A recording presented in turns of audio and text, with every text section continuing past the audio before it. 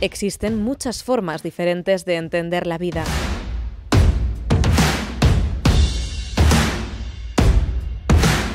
Elecciones que a menudo son excluyentes. Algunas son contrarias, opuestas.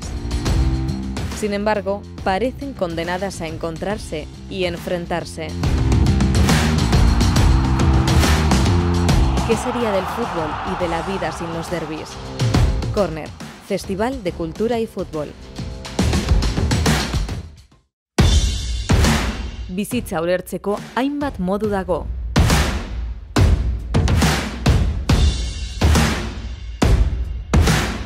Maiz, baztegarriak diren aukerak. Batzuk kontrakoak dira, kontrajarriak. Baina topo egin eta leian aritzerak kondenatuta daude. Zer izango litzateke futbola eta bizitza derbirik gabe? Corner, kultura eta futbol festivala.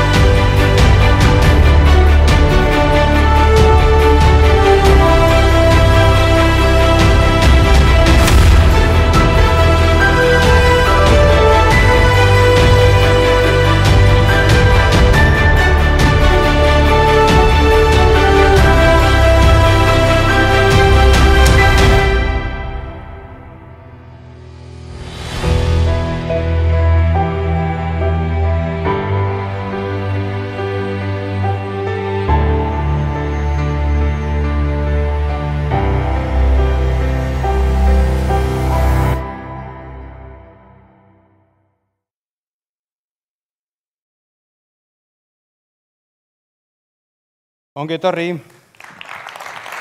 Eta arratsaldeon.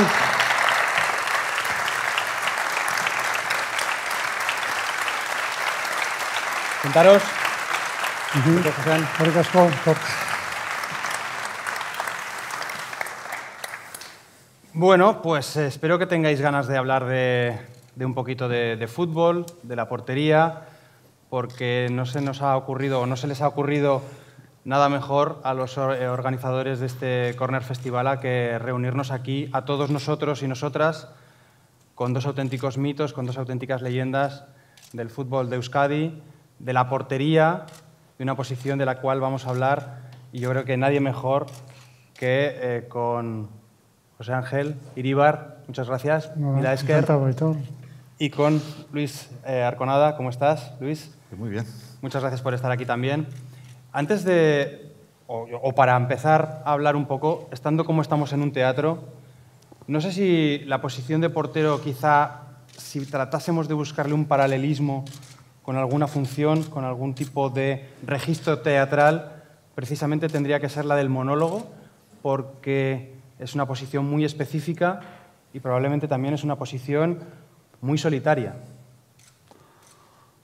Bueno, puede ser que esté bien el, ejemplo del monólogo, sí. Realmente eh, es muy importante el trabajo que haces individualmente, pero yo siempre he pensado que lo individual tiene que estar al servicio del colectivo, ¿eh? porque sin el colectivo también tú eres poquita cosa. Pero bueno, eso se puede trasladar también a otros puestos del equipo, lógicamente, pero el, el portero tiene, yo creo, en ese sentido, eh, una responsabilidad añadida un poquito. ¿eh? ¿Tú coincides? ¿O, o Sí, bueno. ese carácter específico os, ve- os vestís diferente, sí, podéis eso- eso tocar? decir, te vistes diferente, tienes un, un jersey que, que, bueno, lo vas cambiando según las manías que, que puedas tener, pues vas con guantes.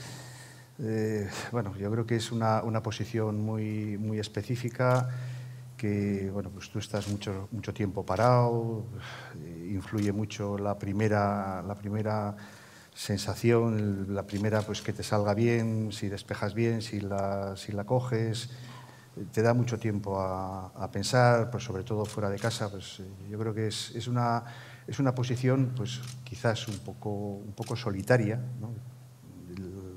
Mayor momento cuando te das cuenta es cuando te van a tirar un penalti y tienes 10 compañeros que te están mirando y cada uno te dice dónde te tienes que tirar, ¿no? Y, y claro, dices, a ver, a ver qué es lo que, lo que haces. ¿no? Es, es, una posición, pues, bueno, complicada. ¿Es una posición ingrata? Sí, sí, es ingrata. O sea, pues, por ejemplo, por ejemplo pues mira, eh, mi nieto empezó a jugar de, de, portero y el primer partido le metieron, pues, no sé, 3, 4, 5 y el siguiente ya nada. De, de ya no quería. Ya nada, ya cambia. O sea, los chavales ya, ahí lo vas viendo, ¿no? Porque si, si tú, por ejemplo, pues, pues tienes una, una, buena actuación y luego tienes un, un fallo que, que, habitualmente pues siempre tienes que tener, o sea, no te puede salir todo bien, ¿no? Pues eh, muchas veces un, un, delantero mete un gol y, y, a lo mejor pues durante el partido prácticamente no ha hecho nada y, y siempre pues, pues, bueno, parece ha metido un gol y, el portero pues eh, has estado bien, pero una que no ha salido bien o que te han metido un gol fallo tonto, pues, pues al final te quedas con, con eso. Es una posición, ahora al revés, si luego pues paras un penalti, pues también tiene ese, ese, momento, ¿no? Pero yo creo que tiene más momentos ingratos que, que bonitos. ¿Tú coincides? Sí, sí, sin duda, yo creo que es, es, un puesto muy vocacional, o sea, que yo creo que desde el principio, no sé, es un, una cierta atracción hacia, hacia la portería, no sé si es un poco masoquista en ese sentido, pero pero es cierto, porque además eh, al inicio te hacen muchísimos goles y bueno, de ellos vas, de alguna manera vas también aprendiendo, ¿no? Y, y, pero normalmente es, eh, es, así, es así de, de, ingrato, pero hay también momentos eh, cumbres también. Hay, momentos en el que puedes decidir, eh, pues bueno, que un partido se, caiga a favor tuyo o no. Entonces es también ahí te puedes sentir muy, vamos, muy bien, ¿no? O sea, que hay, tiene esa, esas dos, dos vertientes. Mm. Claro, eh, se me ocurre que entonces, ¿por qué un crío, por qué una cría iba a querer ponerse debajo de, de los palos? ¿no? Y, y, hablas tú del carácter vocacional. Yo os pregunto a vosotros si es lo que os pasó cuando erais chavales, cuando estabais empezando a jugar. Además, hay varios elementos que, que, os vinculan. Los dos empezasteis a jugar en la playa, tú en la Concha, tú, tú en Zaraud. Eh, ¿Por qué? ¿Por qué portero? Bueno, entonces eh, en esas edades la verdad es que casi te, te decían los compañeros y de que tú eres el portero, te decían, ¿no? Y normalmente, además elegían, muchas veces elegían a partidos que no eran trascendentales, pues al, digamos que al, al, peor, al peor jugador, pues de portero, ¿no? Entonces eso era como muy, muy habitual, o al más gordito, o al más tal. Pero yo en Zaragoza la verdad es que tuve, desde el principio me, me, cogían de portero que pensaban que, que, iba a aportar algo al equipo, ¿eh? ya, desde el inicio. Ya cuando entré, ya al, el primer año que entré ya en la sala del colegio, eh, el primer recreo que, que, tuvimos, que fuimos, me recuerdo perfectamente, allí al Alto de Meagas, eh, hicimos dos equipos y uno dijo, no, este portero que lo hace muy bien. Era un, un, eh, un chaval eh, que, que, bueno, era vecino mío. Pues tenía, vista, ¿eh? jugábamos, tenía vista, Jugábamos allí en la Plaza de la Música, tal, y él sabía y tal. Y ya me hice ya el portero titular del, del colegio ya desde ese momento. ¿no? Yo empecé en la Salle de Loyola y a mí me ponían porque era el único que no tenía miedo a tirarse al suelo. Claro, entonces te raspabas, gravilla, o sea, porque claro, hoy en día pues con la hierba y la hierba artificial, pues, pero entonces con gravilla había que, había que tirarse. Bueno, pues me tocó a mí y la verdad es que también pues me gustaba. Y al final pues sigues, sigues, sigues y luego te das cuenta que ya no, no vales para otra cosa, te quedas de portero ya.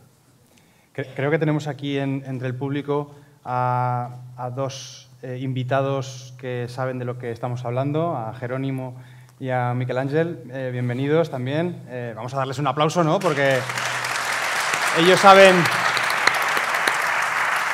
ellos saben bien de ese carácter, pues, lo que decíais, ¿no? Un pelín, un pelín ingrato. También hay eh, cierto, cierta, cierto cliché que dice que para ser portero tienes que estar un poco loco. Y viéndoos a vosotros, se me ocurre que quizás sois los más cuerdos de todo el teatro. Es decir, sois las personas más, más eh, coherentes y más normales que, que, te puedes encontrar, ¿no? Pero sí que es verdad que el tópico dice que el portero tiene que estar un pelín, un pelín loco. No sé si, estáis de acuerdo. La pregunta es muchas veces, eh, ¿qué te parece? ¿Estáis locos? No sé, ¿por qué os llaman locos? ¿no? Yo siempre he pensado que igual eh, eh, cuando jugábamos en aquellos terrenos embarrados, con agua o tal, y ibas a los pies, ahí te tirabas, vamos, como tenía que ser, o sea, sin miedo, porque tienes que ser valiente para ir a coger el balón en esas situaciones y tal, ibas con la cabeza por delante, lo que sea. Pues será por eso que, que nos dicen que estamos locos. Yo no entendía sino el por qué, ¿no? Yo creo que quizá el sentido está más igual en lo que has comentado antes, que es un puesto ingrato y que para jugar hay que estar un poquito, hay que ser un poco, digo yo, eh, diferente, no sé, de alguna manera. Yo, yo creo que hay que ser mentalmente muy fuerte y muy ordenado.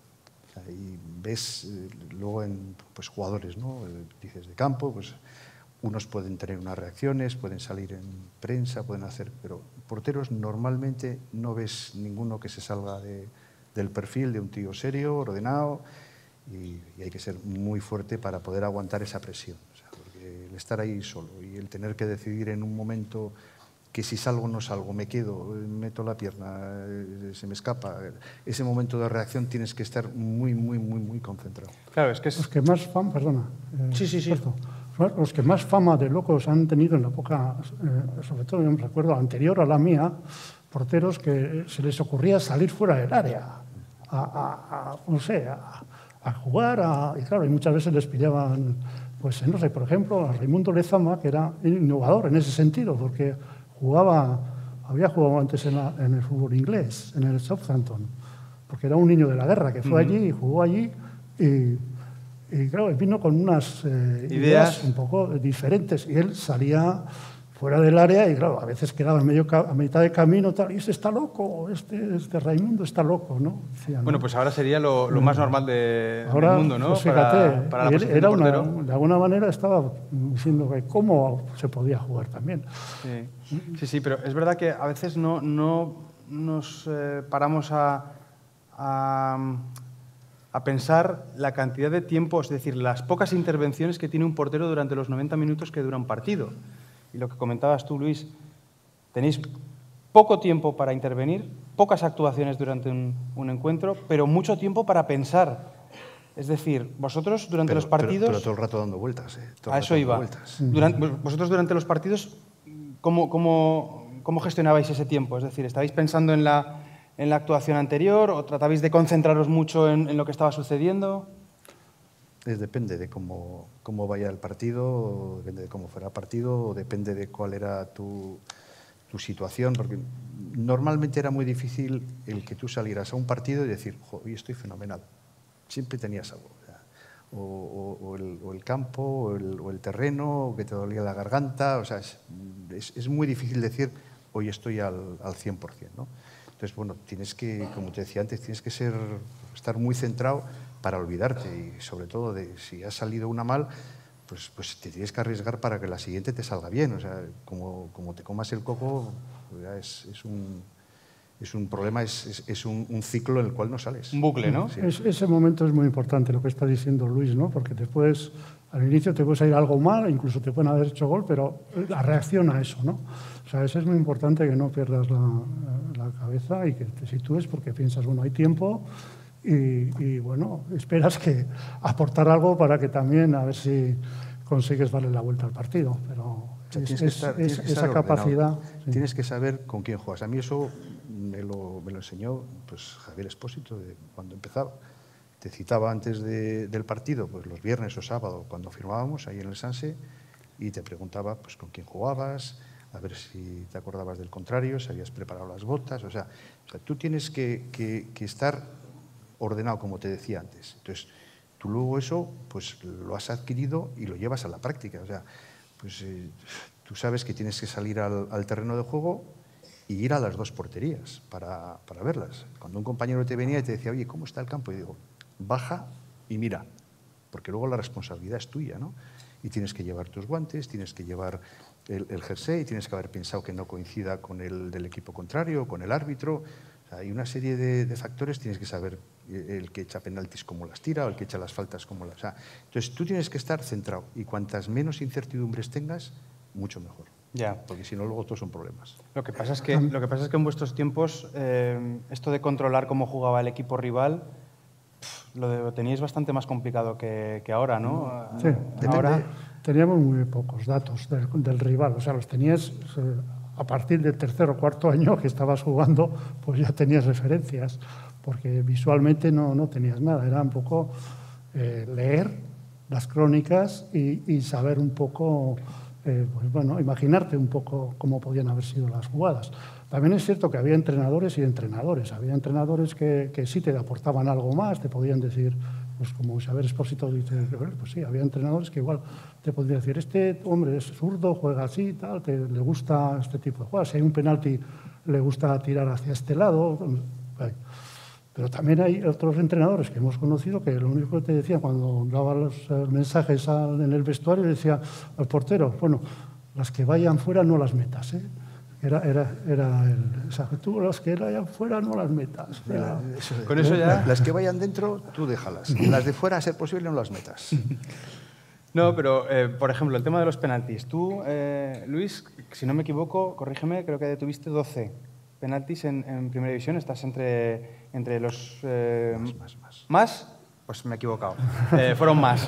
Siento llevarte la contraria. Eh, Mira, Tosak me decía, oh, tú fucking cabrón. tú fucking cabrón. Tú fucking cabrón. No tienes trabajo y entonces haces penalti para pararlo. Pero eh, quiero decir, no Mira, tenías. Ahora, yo, yo me tenía, me veía todos los estudios estadios, me tenía todos los penaltis apuntados. O sea, yo iba a jugar contra el Atleti y yo sabía quién los tiraba o Dani, o Checho mm. Rojo, o tal, y yo sabía, tenía apuntados. Yo decía, si han tirado Dani eh, seis penaltis, tenía apuntado el resultado y por dónde los tiraba. ¿Ah, no es lo mismo tirar con empate a cero que ganando 4-0. Yo los tenía, claro, luego hay un cálculo de probabilidades y, y, ahí pues ya te la juegas, ¿no? Pero ¿Y un, si y un pique, conoces... ¿Y un pique psicológico también con el lanzador? No, no, déjate. Bastante pique tienes contigo mismo de intentar adivinar. No, no, tú lo que tienes que centrar en lo tuyo. Pues el otro, pues bueno, pues mientras ponga el balón en, en, su sitio, pero luego tú, independientemente de, de, luego qué es lo que haces, tienes que tener una predisposición a él en las circunstancias mm, de los últimos años, mm. por dónde ha tirado los penaltis y depende de qué resultado. Y eso es, es, importante, hacer tu trabajo. Uh -huh. ¿Tú también hacías este trabajo previo de controlar sí, por claro, dónde tiraban? Claro, sí, sí, sabíamos más o menos quiénes, porque además tiraban más, más, casi siempre los equipos eran los mismos. O sea, las alineaciones las conocíamos, sabíamos quiénes los que lanzaban los penaltis, eran prácticamente siempre los mismos. En el Atlético era Dani y él conocía, si, si no estaba lesionado, pues podía ser Checho, pero... Y bueno, pues... Eh, en la Real eh, cambiaban un poquito más. Hasta ahí uno aquí me tiró un penalti, también hay uno que está viendo aquí. Eh, Martínez me tiró un penalti también. y me ¿Chino? lo metió, claro. ¿Serio? Chino me metió un penalti aquí en Atocha. Sí. sí, recuerdo perfectamente. ¿Os, ¿Os, acordáis de, de, los partidos con cierta claridad? Y eso que jugasteis muchísimos, pero mm. más o menos ¿Sabéis? Hombre, este me marcó, llegan, este, a este le hice cosas, una parada. Te llegan cosas, sí. Bueno, te vas. Eh. Si, eh, si, estás mucho con eh, exjugadores y coincides, yo tengo la suerte de coincidir con muchos ellos, eso te sirve mucho luego para. Para ir refrescando. Para ir refrescando la memoria, sí. Es como. Sí, es una manera buena para, para recordar partidos, jugadas, eh, goles, eh, paradas, un poquito. Para eso viene francamente bien. Oye, se me, se me, ocurre que yo, que soy un, fui un niño en, en los 80, en, en una casa eh, en la que había una influencia euskalduna muy, muy fuerte, aunque no éramos eh, vascos, estábamos fuera de Euskadi. Para, para mí, para mi generación, para muchos de, de mi generación, mmm, crecimos contigo como, como, referente. A ti, José Ángel, ya me pillabas un pelín uh -huh. por encima.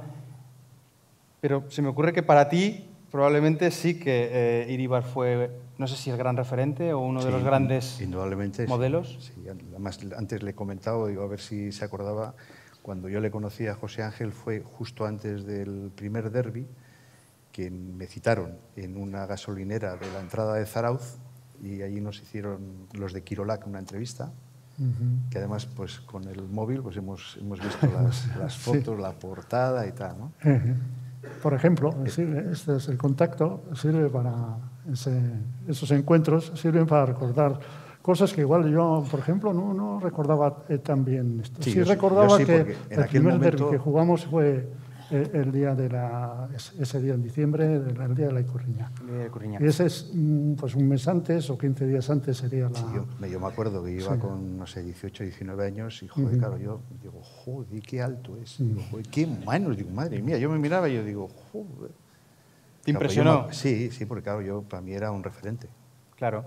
Em, ahora que comentabais que bueno, pues que estáis con, con, las nuevas tecnologías también, como todo el mundo, tirando de móvil para buscar en, en YouTube eh, pues contenidos antiguos y tal, me, me, lleva a pensar un poco el contraste con lo que, sobre todo tú, viviste de crío.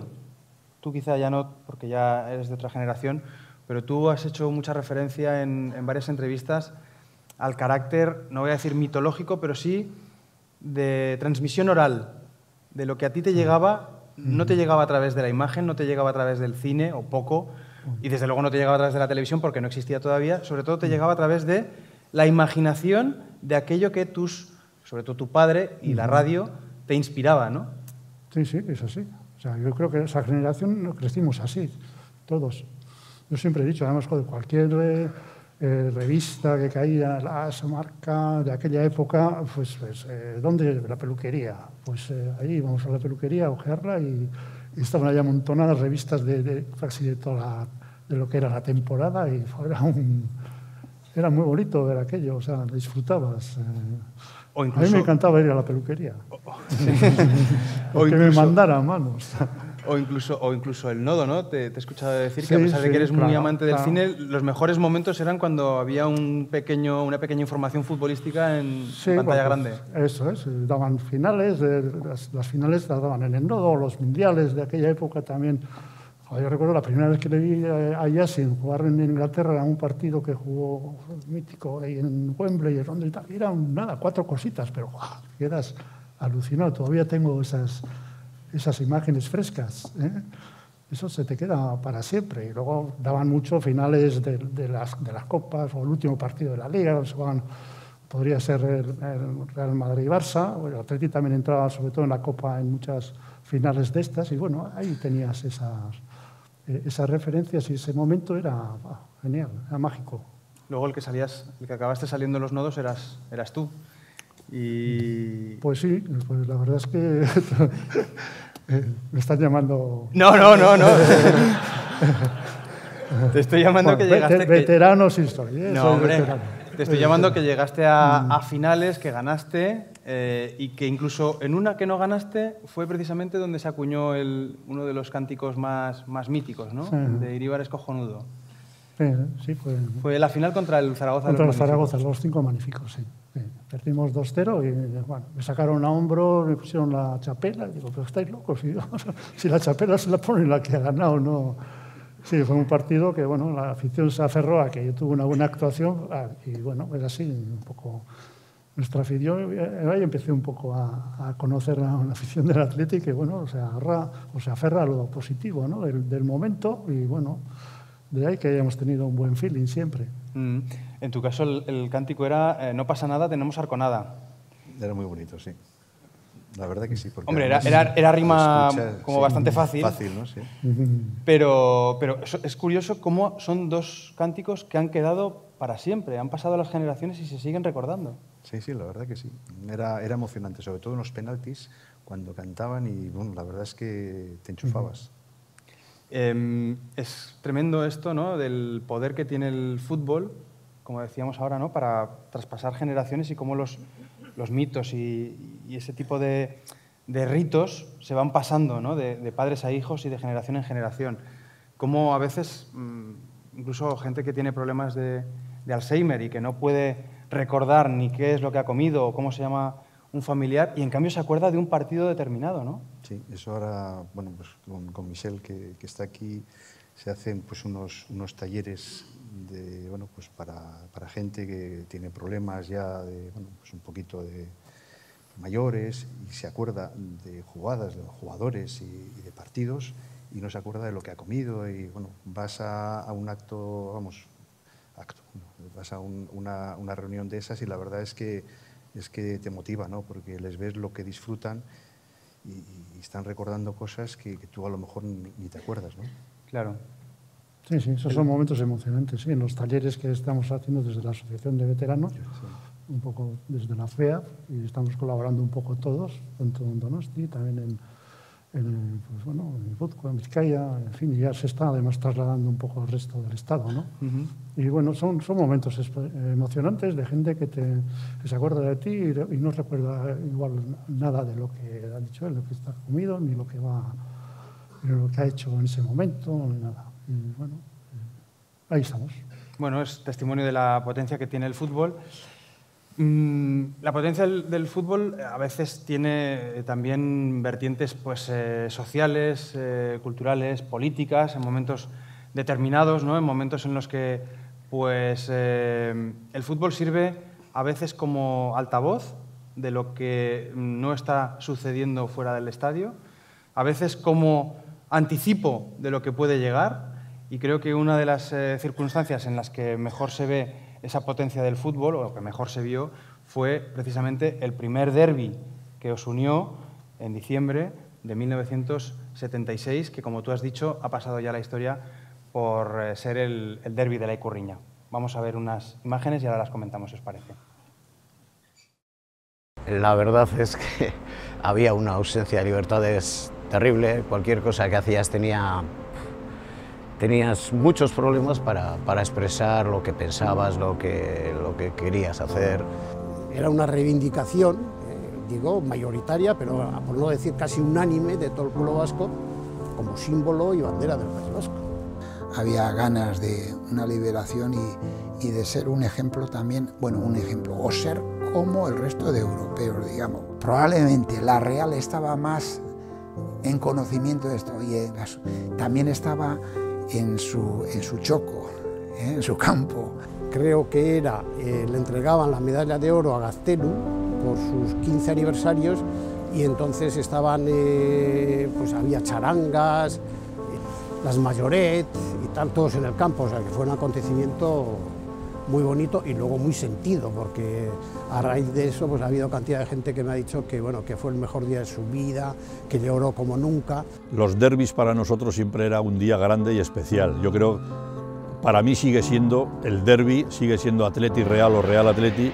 Nosotros teníamos una buenísima relación, de hecho nos veíamos muchas veces, igual durante el año dos o tres veces nos reuníamos en un choco, bien en Donosti, bien aquí, hacíamos comidas juntos, o sea, había una buena relación y luego había un pique tremendo en el campo porque era un poco el orgullo de ganar la Real o la Real el ganarnos a nosotros, ¿no? Teníamos como aceptado el que íbamos a sacar la Icurriña, pero al Atlético de Bilbao le comunicamos justo eh, previo al partido. Recuerdo que estábamos en la caseta y que hubo un momento en que el Chopo entró al, había salido fuera a los pasillos por allí, yo ni me enteré, y volvió a la caseta diciendo pues, que se iba a hacer una votación para ver si queríamos o había alguien que no quería que se sacase la icurriña. ¿no? Entonces nos dijeron que esperáramos un poco porque nos iban a proponer a la Atlética, iban a someter a votación para ver si realmente se aceptaba o no se aceptaba. Todo el mundo estábamos de acuerdo y todo el mundo estábamos deseando de poderlo hacer, aunque sabíamos las dificultades que había en aquellos momentos. Estamos intentando hacer en plan clandestinidad, porque claro, si esto empieza a, a, a ventilar o a... Mm, tienes 20 jugadores o 25, o 20 en el vestuario o tal, pues si lo se dice a todos y tal, es muy fácil que se, enseguida se entere todo, de todo el mundo. Entonces el problema fue, bueno, ya había habido problemas previos. Primero, dónde hacer la icurriña, cómo traerlo, luego era cómo meterlo al campo. Yo estaba esperando a que, a que llegase él y por la ventana me la dio y luego la metimos en un, en una bolsa de agua, eso también es típico, hoy en día ya no existen esas cosas, una bolsa de agua con su esponja. Y luego ya el problema era cómo sacarlo al campo. Y entonces Salva Iriarte, recuerdo que estaba en el banquillo, en aquel, en aquel partido era suplente. Era un túnel para salir al campo de Atocha, pequeño, o sea, era de ancho así, muy pequeño, uno a uno pasado. Había Policía Nacional por todos los lados, por todos los lados, incluso en, en, el, eh, en el, túnel de vestuarios, en el, en el, túnel de salida al campo, todo estaba, estaba lleno, lleno, lleno, lleno de policía armada. Y en el mismo campo, recuerdo que al salir, cada cinco metros había un policía armada.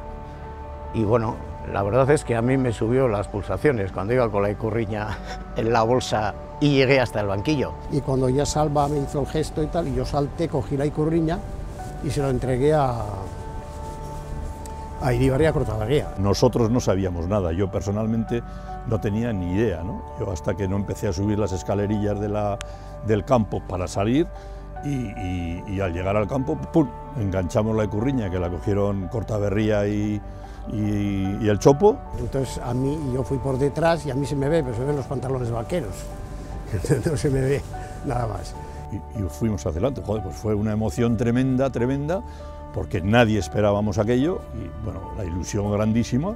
Algunos igual podían estar con la cabeza, pensar, oye, oye nos, van a, nos van a detener, no nos van a detener, todas esas cuestiones que, que estaban todavía en el aire, ¿no? que no se sabía. Entonces al coger, pues sí pensaba, joder, a, ver si la hemos liado, a ver si va a pasar algo y tal, pero bueno, fue un, un hecho muy puntual que afortunadamente pues no pasó nada. ¿no?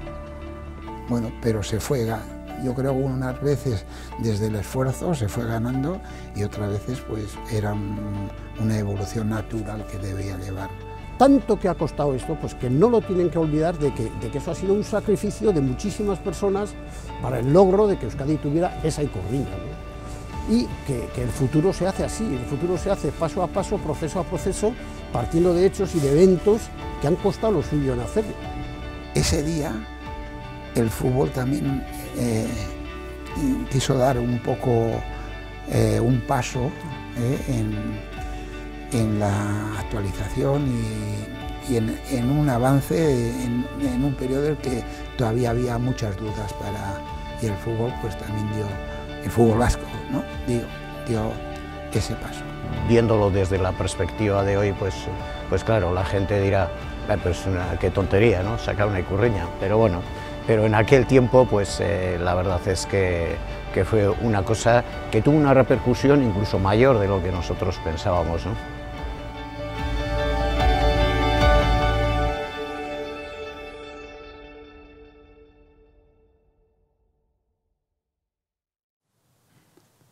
Bueno, en realidad de tontería nada. De tontería nada. Precisamente Precisamente por lo que comentábamos, precisamente porque mm, hay que contextualizar, en ese momento la icurriña era ilegal.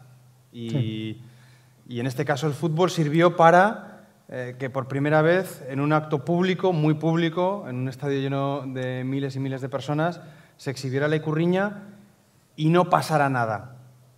Pero vosotros eso no lo sabíais en el momento en el que sacasteis la icurriña. Cuando la sacasteis, ¿qué predominaba? Os pregunto. ¿La ilusión, ¿El orgullo? ¿La angustia? ¿El miedo? Bueno, yo creo que un poco de todo, pienso que, fue así.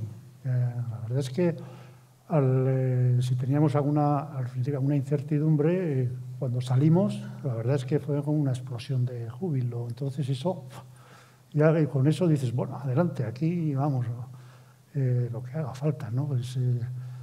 lo que hablamos antes de los cánticos cuando el penalti, pues algo parecido. O sea, decías, esto, el recibimiento fue increíble, emocionante, eh, es muy difícil de, expresar. Y bueno, eh, eh, la verdad es que pues, fue memorable, es memorable todavía, y creo que fue un paso que dimos importante para que en, prácticamente en seis meses se legalizara ya. ¿no? yo creo que eso fue un avance, no pasó nada y, esa iniciativa, pues bueno, pues fue de todos y, salió bien. Y creo que aportamos algo al país que, bueno, que en ese momento necesitaba. Eh, y bueno, yo creo que, vamos, yo creo que estamos todos los que estuvimos ahí, pues tanto los jugadores como los que lo vivieron, eh, pues estamos muy satisfechos de ese día y ese día es inolvidable para, para todos nosotros. ¿Tú, Luis, miedo tenías? ¿Un poco de recelos, un poco de...? Era mi primer derby, yo salía el último, cuando no era capitán salía el último, bastante tenía con, con estar pensando en, en, el primer partido que, que jugaba contra el Atleti y bueno, estaba concentrado en, en lo mío. Y desde el punto de vista deportivo no salió mal tampoco. Pues no me acuerdo cómo quedamos. Yo sí recuerdo que eh, Luis era el primer derby que jugaba y me impresionó verle ese día jugar. Porque sobre todo la segunda parte, eh, vamos, nosotros hicimos bastantes ocasiones de gol. Eh, lo que pasa es que ocurría que mientras la Real marcaba lo que hacía gol, él las paraba todas ese día. Sí, la verdad que fue uno de mis mejores partidos. fue extraordinario el partido que hizo. Fue un partido de toma y daca muy, eh, bueno, muchas ocasiones en ambas porterías. O sea que ese día Luis las paró todas y yo no. Mm. Em, creo que el, partido de la Icurriña también simboliza muy bien lo que es la cultura futbolística de este país eh, os pregunto, ¿la cultura futbolística de Euskadi eh, sigue gozando de buena salud a pesar de, la globalización, a pesar de, tantas influencias que hay ahora mismo que son imposibles de, frenar porque es la, sociedad actual?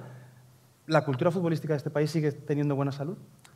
Yo creo que sí, yo creo que excelente salud. Estamos compitiendo siempre ahí en, la élite y, además nuestros clubes están muy saneados, muy bien. Eh, tenemos, eh, el fútbol se practica de una manera eh, masiva, diríamos, dentro de lo que es el país.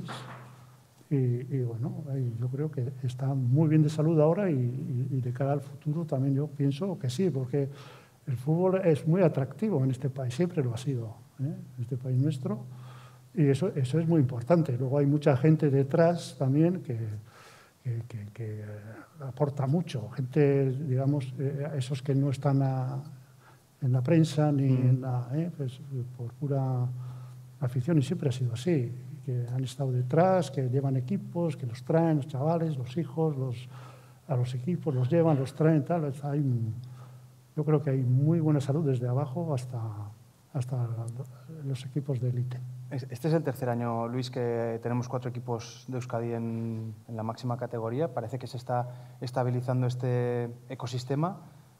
No sé qué, retos plantea eso diferentes a lo mejor a un escenario en el que solamente había Athletic Club y, Real Sociedad. Bueno, pues eh, que ahora hay cuatro equipos, entonces, pues lógicamente, la Real sigue con su fútbol cantera, fichando pues, eh, puntualmente a algún jugador pero yo creo que lo que hay que hacer es pues, eh, situarte, eh, tú tienes tu entorno y afortunadamente pues, la Real tiene una muy buena cantera y vistos dónde están pues, yendo jugadores y los fichan otros equipos y, bueno, y comentando la, pregunta anterior, pues, pues al final el fútbol evoluciona. Entonces ahora pues, eh, derechos de televisión, marketing, o sea, hay una serie de hay un entorno que es cambiante y tienes que adaptarte para, para poder estar dentro de lo que es la, la élite en este momento. Mm. Eh, en ese fútbol cambiante, ¿estáis de acuerdo en que la posición de portero es una de las que, o quizá la que más ha cambiado, ha evolucionado, ha modificado un poco pues, las características de a lo mejor vuestra época, tu época, tu época a la de Jerónimo o, o Moyá? o sea, yo creo que, que, al fin y al cabo siguen jugando 11. Que haya cambiado, pues que ahora el jugador, el portero, le, piden que juegue algo más con el balón. Yo creo que más que, más que los jugadores, lo que ha cambiado es, es el entorno. O sea, ahora pues hay una preparación física que lógicamente es, es, no sé, yo creo que diferente o más avanzada.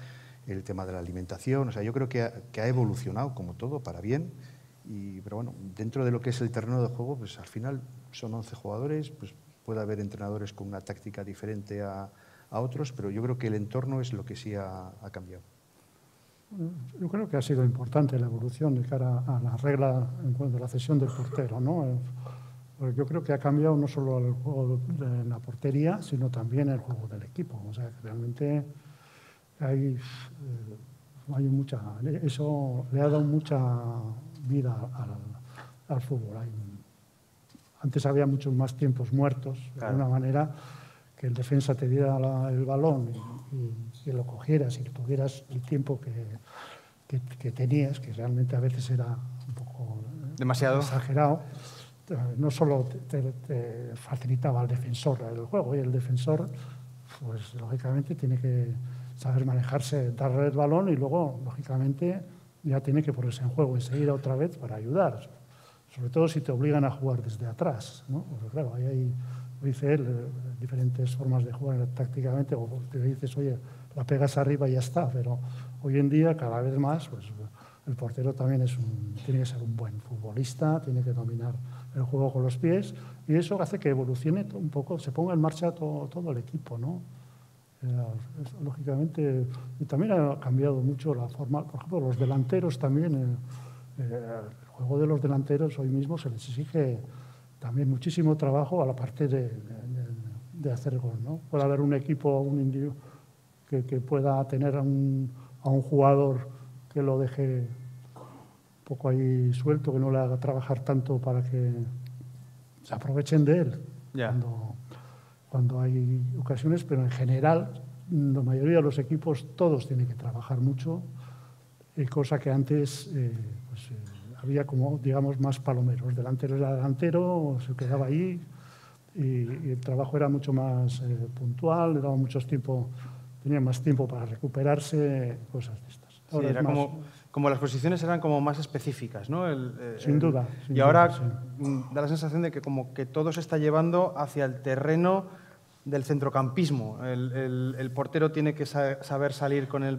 con el balón en los pies, al defensa central también se le pide ser el primero que construye la jugada, al, al, delantero, como tú decías, también se le pide participar, ya no, ya no queremos al delantero que solamente está ahí para rematarla, sino que tiene que, que, que entenderse con, con, el resto del equipo.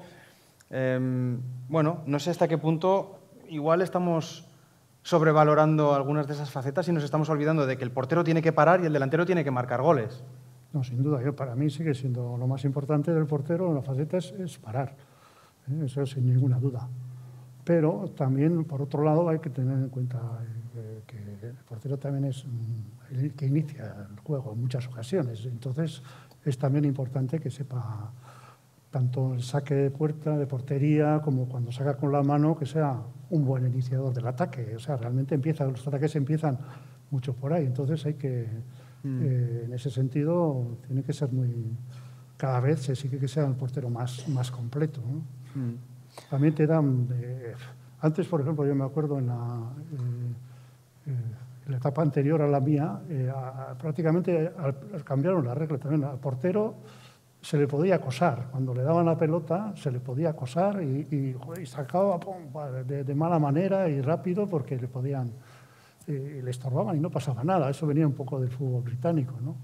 Luego, cada vez eso también se empezó a penalizar esto, ya se penalizaba, entonces el portero tenía más tiempo para, para eso, dar más tiempo a que el equipo saliera, a que hubiera más tiempos de recuperación, eh, en fin, era de alguna, de alguna manera más, mm, más, se marcaban más los tiempos, se recuperaban mejor. Hoy en día ya eso es, eh, ha cambiado, ha cambiado, creo que Siempre, pero insisto que lo más importante, parar. Y si se puede blocar, blocar, coger. Eso sí. es en, bueno, no sé, si, no sé si, si, eso también hablaríamos con, con Rui y, con, y como ya, si ahora se bloca menos o se intenta eh, despejar más, no sé si vosotros decidme con la cabeza, ¿se bloca menos? No. Vale. Rui dice que sí. Bueno, ahí tenemos un derby también. El, eh, el, balón es diferente. El balón es diferente. Vamos, es, es, normal que Yo de cuando empecé, o sea, veías un balón y te venía, vamos, derecho. Aquellos blancos, o sea, te venía derecho. Luego ibas a jugar al campo de los Asuna, aquello es mi casa. Mm. Bueno, sabías por dónde salía, pero te subía, te bajaba, o sea, parecía teledirigido. ¿no? O sea, es, es depende. Sí. Ahora cada vez los balones pesan menos y cada vez es más complicado. O sea, yo ahora, vamos, es que bastante tienes con muchas veces despejarla. Ya. Me parece, ¿eh? Sí, en nuestra época era más eh, fácil. Además, eh, los colocar, balones, yo no sé si era por el, forma el balón hacía menos, menos extraños. Pesaban más. Mí cuando eh, se embarraba, cogía agua, realmente costaba moverlos. Ahora, vamos, es- hay otra... Ha cambiado mucho. Sí. De Todo, todas maneras, todo. a- a- antes hablábamos ahora del, del Día de la Icurriña, de la cultura futbolística de Euskadi. Una de las grandes banderas de, de este país ha sido siempre también la capacidad de sacar porteros. Antes repasaba los datos, los eh, premios Zamora que, que los dos tenéis.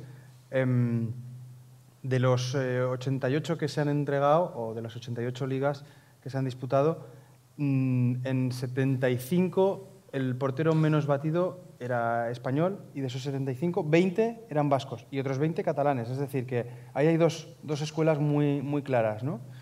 Pero el último vasco que se ha hecho con un premio Zamora fue Ocho Torena hace 30 años. ¿Cómo, ¿Cómo está el estado de la portería en Euskadi para Iribar y para Arconada? Bien, yo creo que está, está bien. eh, pues, se trabaja mucho en ello. O sea, realmente, pasa que yo creo que en, en ese sentido eh, los demás clubes también, eh, eh, las demás escuelas han, han evolucionado muchísimo, yo creo. Nosotros en nuestra época, yo creo que tuvimos la suerte de contar con, por ejemplo, con muchos expósitos, ¿no? que les gustaba entrenar a, a los porteros. ¿eh? Y yo también he tenido muchos entrenadores en el Athletic que, que le- les gustaba pues, eh, que, que entrenáramos. Yo eh, hablaba con, con eh, porteros de, otras, eh, de otros equipos decía, "Joder, no hacemos nada, nos vienen cuatro veces a portería, cuatro tiros y tal, ¿no? Nosotros eh, entrenábamos eh, muchísimo y yo creo que bien dentro de lo que eran aquellos tiempos. O sea, nos poníamos en la portería, recuerdo, y venían a puerta y hasta, hasta que no podías más seguías en la portería. O sea, era un entrenamiento, o sea, de resistencia increíble. O sea, y luego cambiaba el siguiente. Entonces, ahora se hacen, se está todo como muy más, mucho más, hay mucho más método, hay eh, el, el número de intervenciones en los entrenamientos también, los ejercicios son más limitados, todo esto. Pero a nosotros no, nos valía.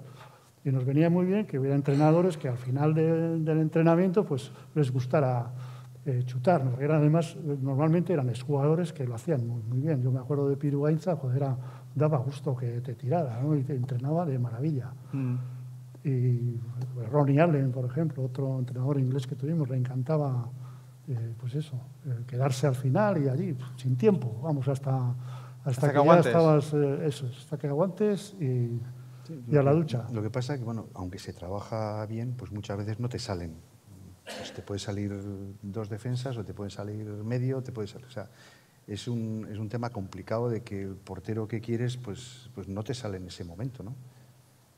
Es, es- es complicado el, el momento. Sí, es verdad que hay eh, épocas, hay, hay como camadas, hay, que salía, pues, eh, pues, pues bueno, eh, yo la Real me acuerdo eh, que empezaron desde, bueno, Araquistain, luego venían, joder, eh, pues...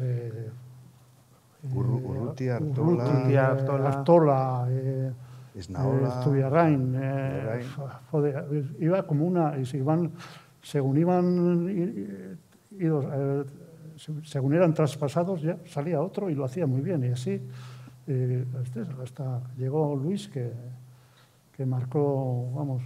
No, ahora, por ejemplo, en el Atleti había un portero que era Kepa, que es, para mí es de lo mejor que hay actualmente. Entonces, pues en la Real, pues ahora pues, pues tenemos eh, dos grandes porteros, pero que, que no, no, no son de la cantera. Entonces, lo que hay que trabajar es para que luego los siguientes sean de la cantera. Mm.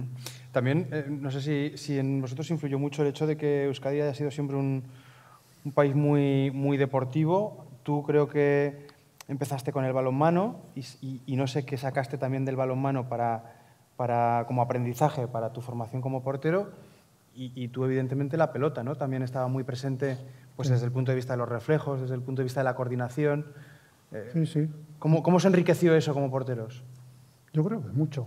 Yo creo, estoy convencido de que el multi- a, a esas edades tempranas hacer eh, todo tipo de deportes tiene siempre hay una relación, ¿no? Y sobre todo, pues eh, pues desde la playa hasta luego el frontón, yo creo que es muy, es muy importante ¿eh? para la coordinación, lo que dices tú, para colocarse, para conocer cómo bota la pelota, eh, en fin, eh, es, tiene, tiene muchas facetas en las que luego te vienen muy, muy, muy bien para el juego de la portería. Por ejemplo, yo, hablamos, hemos estado hablando antes de lo importante que es parar todo esto, pero ¿y las piernas? ¿no? Tienes que ser ágil, o sea, tienes que tener una movilidad y multi, multilateral, multifuncional, que, tienes que dominar un poco todos esos aspectos, ¿no? Y ahí entra mucho la coordinación. Y en pelota pasa esto. Yo siempre, cuando veo jugar pelota a mano, y veo a delanteros que, que, van ahí, son derecha e izquierda, cómo se tiran, cómo van, y digo, este podría ser un portero de maravilla. Si te fijas sus movimientos, ¿no? de atrás, adelante, de arrancar, frenar, lateralizar, eso, eso te ayuda un montón luego a, a esto, ¿no? a, sí, la coordinación. a tu juego. ¿no? Y la coordinación es importantísima. Uh -huh. saber, saber esperar un poco cuando, cuando a la izquierda toca la, la pared y tienes que ahí aguantar un poquito el tiempo para... O sea, hay muchas eh, cosas que Yo son aprovechables. De portero a balonmano y me vino muy bien el practicar judo. A la hora de caer, saltar. ¿Practicar judo? Judo, sí. Sí, porque cuando tú vas a salir mm. y estás en el aire, nunca, nunca vas solo, siempre tienes que chocar con alguien. Tal, o sea, entonces, a la hora de, de, caer, a mí me vino muy bien el, el judo parecerá una tontería, pero, no, no, no. pero es que hay muchas veces que a la hora de caer pues no, no tienes lesiones de, de, hombros o de la clavícula. Uh -huh. Bueno, eh, no sé si, si, hay alguien en breves. Vamos a ir abriendo ya la sesión de preguntas, ruegos, comentarios. Estaría bien que Jerónimo y que eh, Miguel Ángel pues, también aportaran su, su granito de arena. Eh, me ha gustado mucho esta divergencia de si se bloca más o se, bloca menos.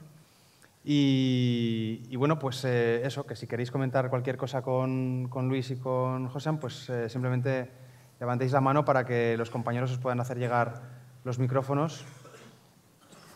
Nada, habéis hablado de Gainza, ¿no? Entonces, pues mi ama, Saiz, se salía con él, con Gainza en Guernica. Entonces, cuando se hizo famoso, se fue con otro. Nada más. ¿Se fue? Se, se fue con otro. Ah, ah. Bueno, tenía, tenía, buen regate.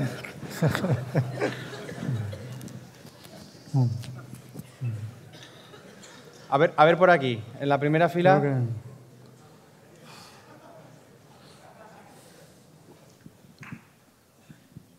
Bueno, la pregunta sería para los dos, ¿qué cualidad le hubiese gustado tener del otro?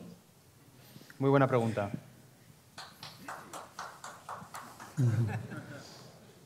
Luis, ¿quieres empezar tú? Sí, yo me hubiera gustado tener la altura de José Ángel. Hoy lo hubiera tenido un poco complicado para jugar. Bueno, eh, la verdad es que es una pregunta que tiene sus eh. Pero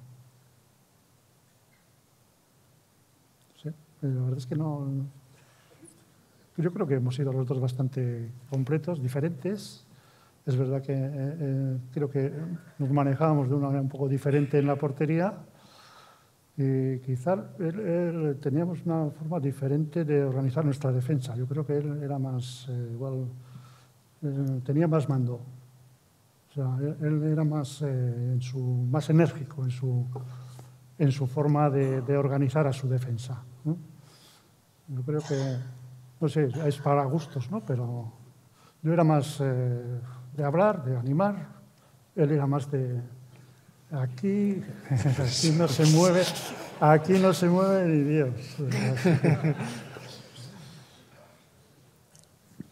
Jerónimo. Sí, yo también. Eh, ¿algún ¿Está, momento... estáis, ¿estáis, a gusto en esta posición de sí, ser sí, ahora sí, los que preguntáis y que los otros respondan? Muy sí, ¿no? Bien, muy, bien, muy bien. Muy bien. ¿Algún momento puntual de su carrera que hayan dicho, a partir de hoy soy mejor arquero que ayer? ¿Algún partido? ¿Algún, ¿Algún momento? ¿Algún sí, momento un partido, puntual? una situación o lo que sea. Mm. Mira, yo lo que sí te digo es que me, tiré, me retiré pensando que, podía hacerlo. Había muchas cosas que, esto. Me retiré con 37 años y dijo, todavía me quedan cosas para, para mejorar, para aprender. Yo creo que eso lo tienes que tener siempre, siempre en mente. ¿eh? Yo creo que es lo más importante. Para que tengas esa regularidad en, en tu carrera, tienes que ser bastante tienes que tener cierta autocrítica, ser capaz de, de, reconocer tus errores, porque si los reconoces tú mismo, es más fácil también que, que vayas a, a corregirlos. ¿eh? Mm. Y eso yo creo que yo por lo menos he ido por, en esa línea hasta el final, hasta que me retiré. ¿eh? Y por eso siempre he pensado que tenía, eh, decir, joder, ya estoy, ya, voy a tener unos años fenomenales, porque unos años salen mejor que otros. Yo recuerdo el año 70, pues eso, es, eh, hay momentos que crees que ya dices, que la verdad es que tú y el equipo piensan, joder, qué, qué difícil es hacernos gol, ¿no? Pero siempre pensando que hay cosas que puedes mejorar. Entonces, ese momento, a partir de hoy, me parece mm, que no es una buena esto, eh, eh, forma de, de, de, verse a partir de ¿Tú, Arconada? Te vas dando cuenta con el paso de, de, los años que la experiencia te da otra forma de estar en la portería, otra forma de ver las, las jugadas, otra forma de, de ver el, el, fútbol. O sea, lo vas haciendo cada vez más fácil. Y como decía José Ángel, luego pues, claro, llega una edad y dices, pues si es que, si es que estoy bien, estás bien, porque o sea, antes pues, o saltabas eh, mucho más o corrías mucho más y te vas dando cuenta con el paso del tiempo, de los partidos, de la experiencia, y dices, joder, qué fácil, qué fácil lo haces, ¿no? Y, eso yo creo que es... Eh, pero además no te, no, no te, das cuenta el por qué, sino va, va, va saliendo solo. O sea, las haces de otra forma las cosas y, y, y, te vas encontrando cada vez más seguro y más tranquilo y no ves el, el momento de retirarte. Habéis, habéis, hemos comenzado hablando de algunos de los paralelismos que tenéis en común. Otro de los que se me ocurre que también, otro de los elementos que os vinculan es que los dos sois eso que llaman One Club Men. Eh, comenzasteis en el mismo equipo en el que os retirasteis. Y me pregunto si eso vosotros consideráis que es eh, una raza en extinción. Aquí en Donosti el año pasado, pues eh, eh, se, se, retiró mm, eh, uno de los más eh, conocidos y más celebrados de, de, los últimos tiempos, como es Xavi Prieto, pero me pregunto si cada vez vamos a ver eso menos. Si, si lo que vosotros hicisteis en el Athletic Club y en la Real Sociedad va a ser cada vez algo más del pasado. Bueno, no es fácil, ¿no? Con, con eh, los tiempos que corren, con el dinero que se mueve. Pero yo, por ejemplo, en, en mi época, pues yo estaba en el equipo que, bueno, yo de pequeño quería jugar en el Sanse.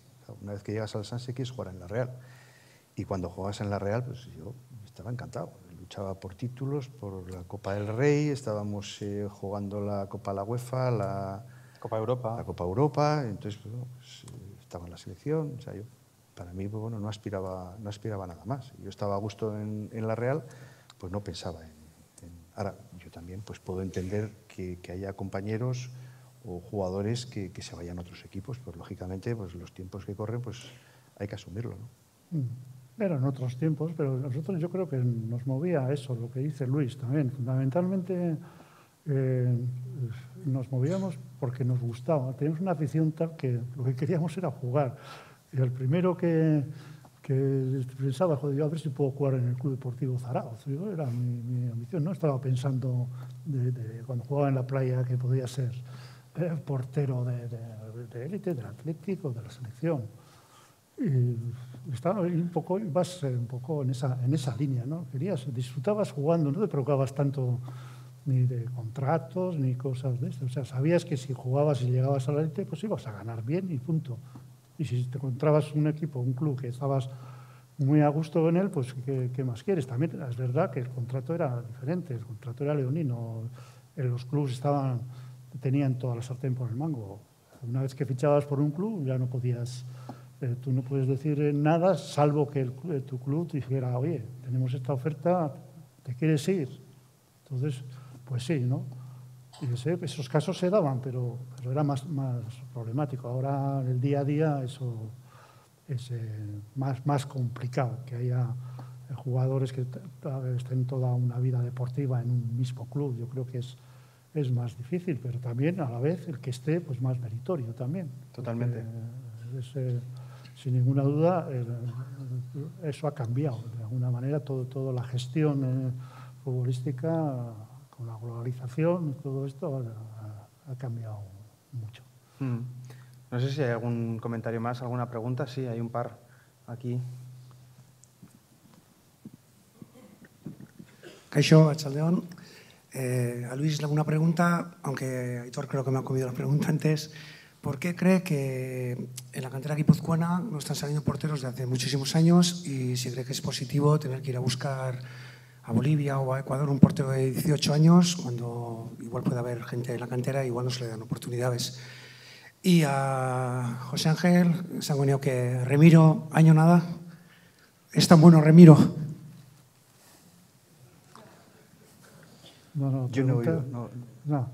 La segunda yo no he oído, la, la, tuya. Pero vamos, yo he comentado antes que lógicamente tú trabajas la cantera igual que, que se ha ido trabajando durante los últimos años y no te sale un, portero. Es que un portero bueno es que es muy difícil que salga. Estamos hablando de, jugar en primera división, en, un gran club y lógicamente pues con los antecedentes que, tenemos ¿no? de, grandes porteros, Alberto.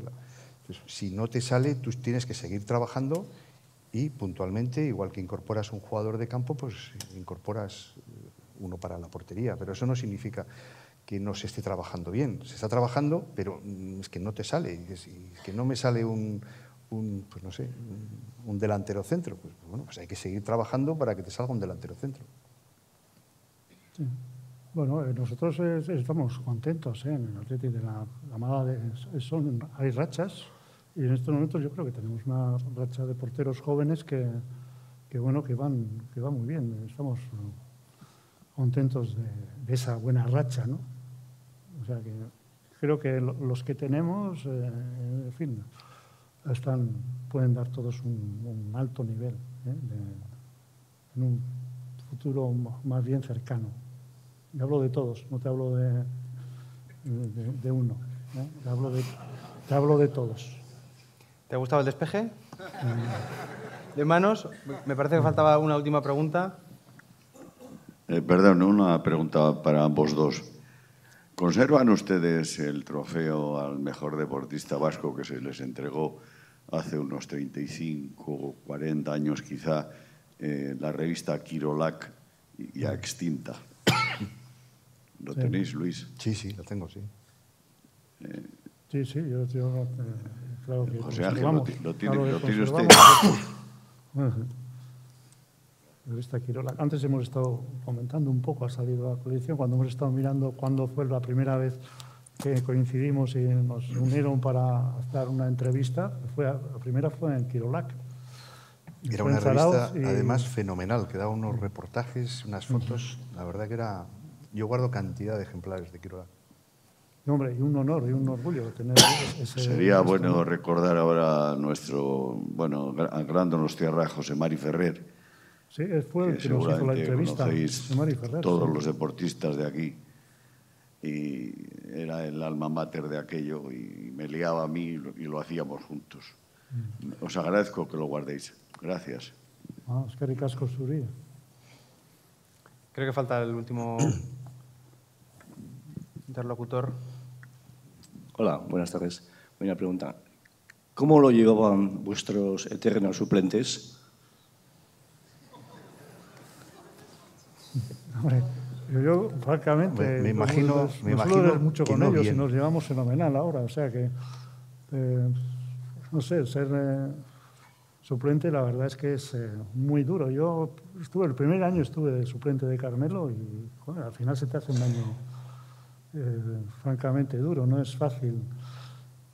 Puedes tener la suerte de tener enfrente, un, si eres joven, pues como tenía yo Carmelo, pues oye, pues creo que aprendí mucho de él, sobre todo la forma de verle entrenar, como lo hacía, Y bueno, en ese sentido, pues eh, positivo, ¿no? Pero lo demás, si, no es así, pues lógicamente es, eh, es, un, vamos, es un puesto, una acepción de suplente que no, que no gusta, ¿no? Entrenas para jugar. Y luego, además, si, sales puntualmente porque te ha lesionado, digamos, el titular, pues estás jugando un poco eh, tu futuro. Hay mucha responsabilidad, no, no, te falta el hábito. Y para eso siempre decimos, hay que, hay que estar preparado para ese momento también, porque un suplente puede llegar a ser titular si lo hace bien. Si el partido que sale lo hace bien, pues y tiene que estar pensando eso. Ese es un poco el leitmotiv del, portero suplente, intentar quitarle el puesto al titular. ¿no? Eso no quita para que las relaciones entre porteros normalmente son muy buenas. Yo he tenido con todos muy buenas relaciones. y ahora mismo, ya te digo, nos vemos mucho porque estamos en la Asociación de Veteranos y los que estamos, pues, oye, pues eh, no sé, somos, tenemos una cierta, además, los porteros entre nosotros, yo creo que hay una cierta química, el, por eso y quizá de que somos un poco, pues eso, diferentes, jugamos en un puesto diferente, vestimos diferente también, y, bueno, pues... Eh, creo que en ese sentido la pregunta igual pues, tiene que ir más a, a, los que nosotros hemos tenido la suerte de ser titulares. Vicente, ¿no? Pero Vicente tendría que ir más al que, que no. conmigo. ¿no? Hombre, pues, pues lógicamente, pero hay muchas veces que no depende de ti. Ibas a jugar un partido de Copa contra un equipo de segunda y te decía el entrenador, no, vas a jugar. Y yo digo, joder, ¿qué se me ha perdido en Trujillo? ¿O qué se me ha perdido en, en no sé, en un pueblo ahí de... Digo, que vete a saber cómo está el campo, te puede votar mal, te puedes lesionar, te pueden meter tres goles. Te decía, no, es que voy a cambiar la defensa, voy a cambiar tal, voy a poner esto y tal, y tienes que jugar. Y ala, a jugar. Y luego, pues, claro, ¿cómo vas a explicar que te ha dicho el entrenador que tienes que jugar un partido de Copa de segunda? Parece que quieres, quieres jugar, ¿no? Pero es que te dice, tienes que jugar porque voy a hacer otros cambios. Y el puesto de portero, como era complicado, pues, eh, pues te tocaba jugar. Y el tema de las rotaciones, entonces, que ahora está tan, tan a la orden del día, incluso en la portería? ¿Cómo lo valoráis? Mm, depende. Depende de cuáles sean los objetivos. Es, es complicado. Al final, pues el entrenador es el, responsable. Y si no le salen bien las rotaciones, eh, si las hace o no las hace, eh, tienes que asumir lo que, lo que él decida. Tú lo primero eres un jugador y seas capitán o no, tienes que, que obedecer las órdenes del entrenador, que es el máximo responsable. Sí, bueno, yo veo las rotaciones en el, en el sentido positivo de que los, los, dos porteros, los dos o los tres que hay, ¿Tienen, que tienen mucho, mucho nivel. O sea, que hay confianza, porque si no el entrenador no se la juega. Porque sí, por capricho, decir, no, hoy juega este, juega el otro. O sea, yo creo que hay, están en un nivel eh, parejo que el entrenador piensa que, que además yo creo que piensa también que es bueno para, para el vestuario, para que haya, eh, pues eso, sí, hay rotaciones cuando, una comunión cuando, en el vestuario. Son... Eh, porque claro, también los jugadores, joder, eh, vamos, de los jugadores de campo, ellos, claro, participan más, porque ahora, lógicamente, hay cambios. Pero, joder, los jugadores de campo también ven entrenar a los porteros y ven que los suplentes joder, se están aplicando, que dicen, joder, que están entrenando muy bien, que, que, que, realmente sudan la camiseta, entrenan muy bien y que tienen cosas buenas, pues, no sé, juegas un poco con todo, ¿no? Para que haya realmente, a lo largo de la temporada, hacer equipo es muy importante. Mm. ¿eh? Y para eso tiene que ser todos, todos un poco, que tengan un momento determinado, que les den eh, esta, ¿no? esa responsabilidad y que tengan el, el orgullo de decir, joder, pues yo, o por lo menos la posibilidad de, de, de poder demostrar que son válidos y que son capaces de, aunque salgan en determinados partidos, pues que lo pueden hacer bien. Yo creo que hay muchas cosas hay que un entrenador se plantea para, para optar por esa, eh, por esa situación. O sea, si fuera lo contrario, no, no. O sea, si dices, joder, hay mucha diferencia del titular al, al suplente, pues, entonces posiblemente, pues igual no, no, no, actuaría así. Pero yo creo sí. que hay mucha. Esto están a mucho nivel los, los dos. Es lo que decías Sí, tú. yo coincido, sí, sí. que cuando hay un nivel muy parecido entre los dos, ¿no? al final es un poco complicado de gestionar. Bueno, ya para, para ir acabando, mm, hace ya un- unos años que os habéis retirado. Eh, ¿Os seguís considerando porteros? ¿Vosotros veis un partido y empatizáis con, con el portero si le pasa algo bueno, si hace una buena actuación o si no? ¿Empatizáis? ¿Todavía por dentro seguís sintiendo porteros? Yo creo que sí, que, que vives el, el juego y con esa mm, intensidad empatizas con los porteros. ¿no? A mí cuando veo, o sea, me gusta ver además, muchas veces me- gusta ver los partidos que veo de, del Bilbao Atleti o tal, me pongo detrás de la portería. Me ¿Ah, gusta, sí? no, sí, me gusta La perspectiva del portero. La perspectiva del, del portero, ese tipo de partidos me gusta. eh, veo muy bien el partido, cómo viene, cómo van. sí. Prefiero estar ahí que en tribuna. En, en el tribuna. eh. Sí, sí, empatizas porque lógicamente tú lo has vivido y sabes lo que se sufre en el puesto de portero, ¿no? Y sobre todo pues cuando ves que algo no sale bien, pues eh, lo pasas mal. ¿no? Bueno, pues espero que todos los asistentes no lo hayan pasado mal, sino que hayan tenido un- una buena experiencia con, con José. Te agradezco mucho que hayas venido hasta aquí. No te he preguntado cuál es el derby, porque estoy un poco perdido yo. Ahora que, que he estado leyendo así estos días cosas de que el, el derby eh, para algunos jugadores del Athletic Club no, no era el Athletic Club Real Sociedad, estoy ando un poco perdido, pero, pero no te lo he preguntado. Y no te lo voy a preguntar. Y, y a ti, Luis, también muchas gracias por haber estado. Eh, os agradezco mucho la charla, os agradezco mucho la amabilidad y a todos eh, ustedes, vosotros y vosotras, también la, la presencia, así que es que ricasco.